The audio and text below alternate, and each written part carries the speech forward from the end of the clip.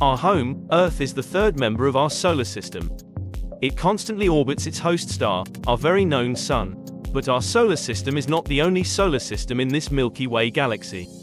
There is a solar system, 104 light-years away from Earth that forms the most extensive solar system ever seen. There is a planet that is 12 to 15 times more massive than Jupiter called 2MASSJ2126-8140, orbiting its host star named TYC 9486-9271, which is a dim red dwarf star. The distance between the planet and the star is about 1 trillion kilometer. That is about 6,600 times the distance from the Earth to the Moon. 2MASS takes 900,000 years to complete one orbit. In total, it has only made a maximum of 50 trips around the star so far, because the star is very young, with an age between 10 and 45 million years.